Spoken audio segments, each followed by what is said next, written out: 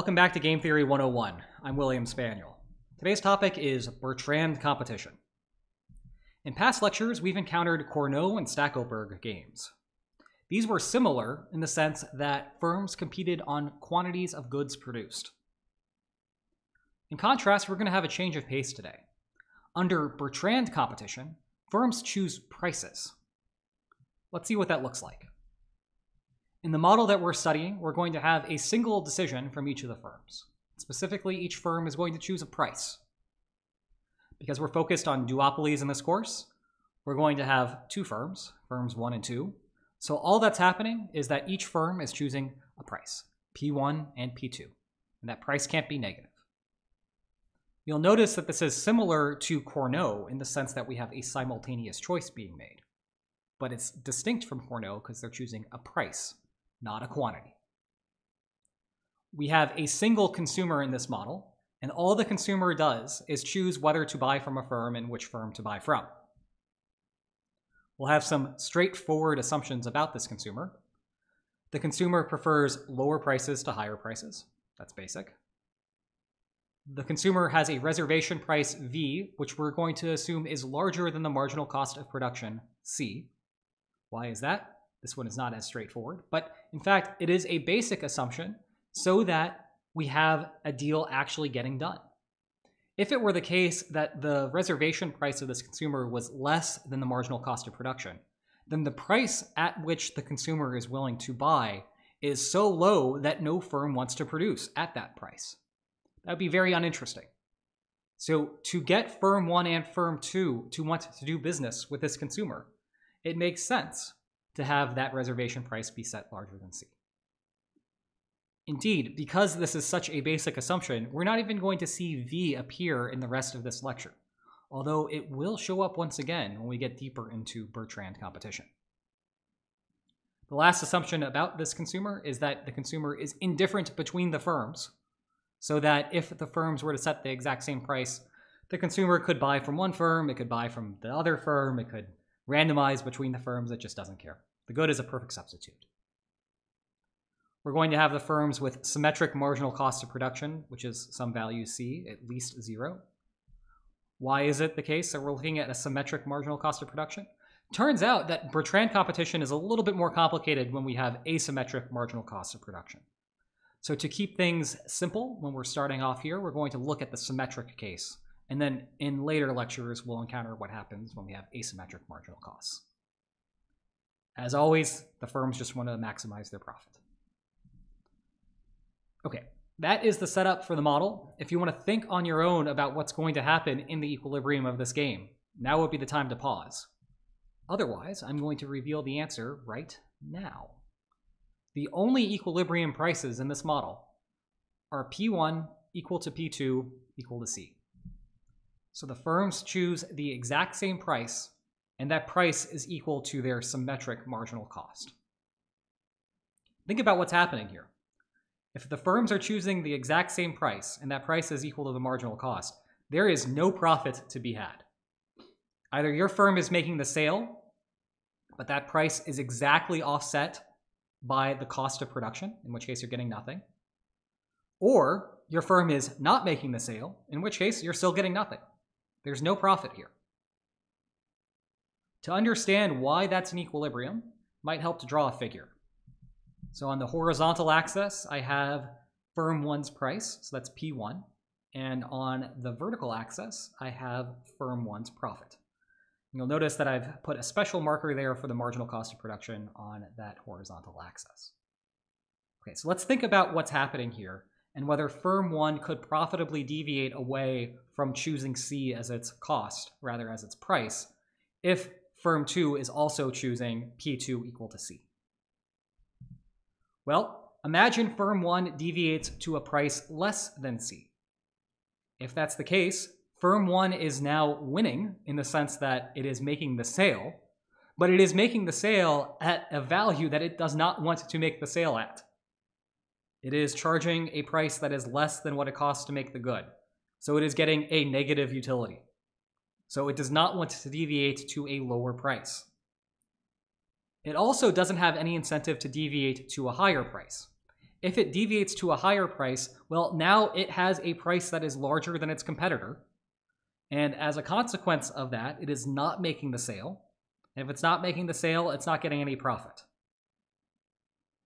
If it's not getting any profit, then that's getting the exact same outcome as it would be if it were choosing its strategy that it is supposed to in equilibrium. It is choosing to set its price equal to the marginal cost. And so there's no profitable deviation here. So oddly enough, despite the fact that we have all of this nice space in that upper right quadrant of the figure, we're not seeing any firm having the ability to access any of those profits as long as the other firm is setting its price equal to its marginal cost. And that's why this is an equilibrium. Another question, of course, is why is this the only equilibrium? Why can't we have an equilibrium that's going to be anything other than this? Well, one of these cases is straightforward. It should be pretty obvious why we can't have an equilibrium price that is less than C. If that were the case, then whoever is the lowest price firm and is making a sale here, that firm can profitably deviate to any higher price. If it is still making the sale, well, at least it's bringing in more money, so that's good. And if it's not making the sale, well, now it's making nothing, and that's better than selling at a price that is less than how much it costs to produce.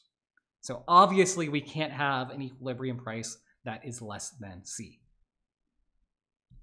What's less straightforward is why we can't have an equilibrium price that is greater than C.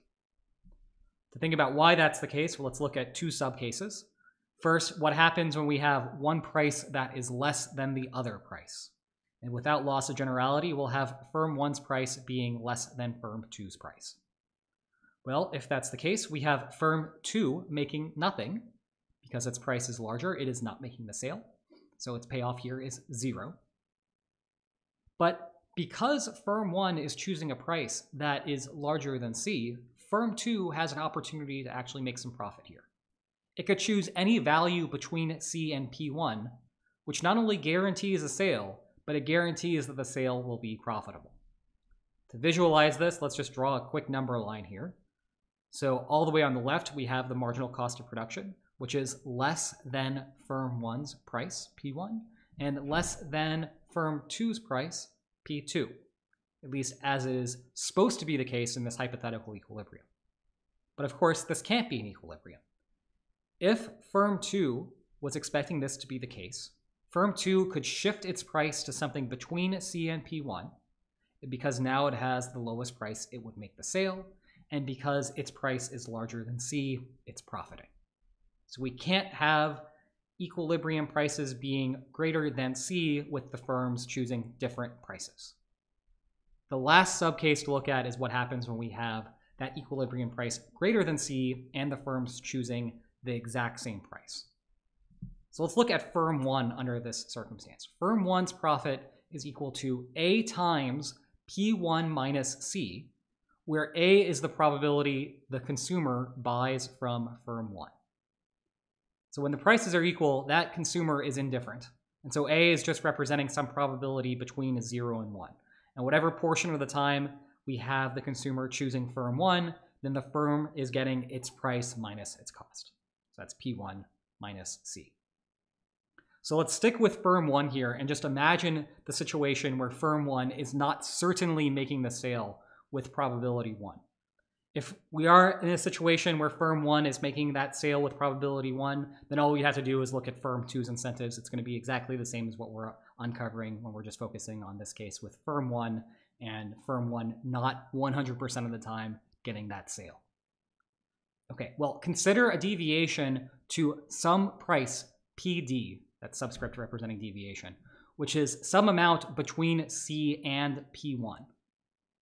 This is better for firm 1 if PD minus C, that's what its payoff is for choosing it. Why is that? Well, it's having the lower price now because PD is a smaller amount. And that means it's always getting the sale and it's always getting a price of PD and it's paying C, so that's its utility, PD minus C. And that is better for the firm than getting the value of P1 minus C times A as long as, if you rearrange that expression, PD is larger than A times P1 plus 1 minus A times C. You'll notice the right hand of that inequality is a convex combination of P1 and C. And because we have freedom of PD to put it anywhere in between P1 and C, it's always possible to find a value that makes that statement true so that we have a profitable deviation. Might be easier to visualize what's going on here once again. So on this number line, we have C, that marginal cost of production, still being less than the prices. And of course, now we have the prices being identical between the firms. So P1 and P2 are exactly the same. Firm 1 and Firm 2 are setting the exact same price. Think about what happens if you are the firm that is not getting the sale to happen all that often, maybe 50% of the time or maybe a little bit less. Suppose you make your price just a fraction of a cent smaller. Well, now you are guaranteeing the sale.